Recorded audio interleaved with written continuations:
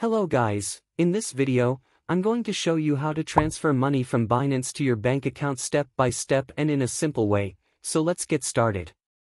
The first thing we need to do is open our web browser and search for the official Binance website. Once we are inside and logged into our account, we should click on our profile in the upper right-hand corner and select Dashboard.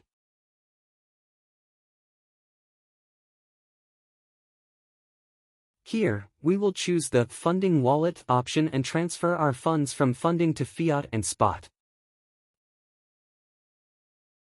To do this, select the transfer option and enter the correct details.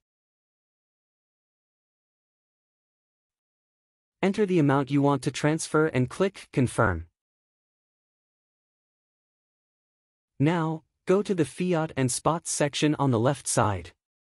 As you can see, all your accumulated money will be here.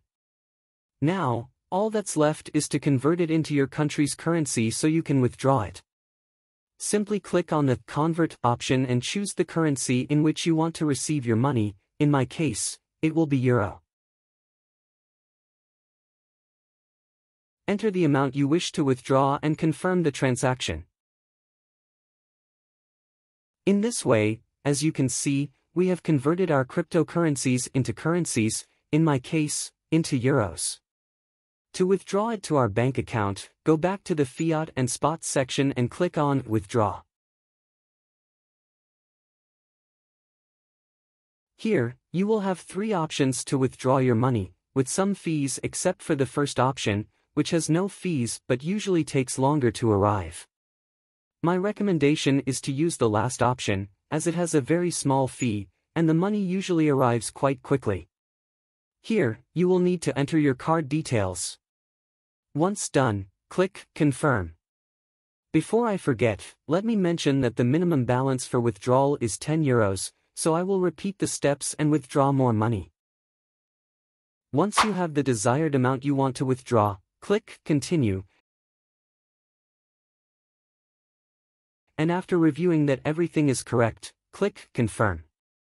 A security pop-up window will appear, so click on Get Code and enter the code that has been sent to your email. Once done, click Submit and as you can see, the transaction has been successful. As you can see in this image, the money arrived instantly. That's it, I hope this video has helped you. If it did, don't forget to hit the like button and subscribe.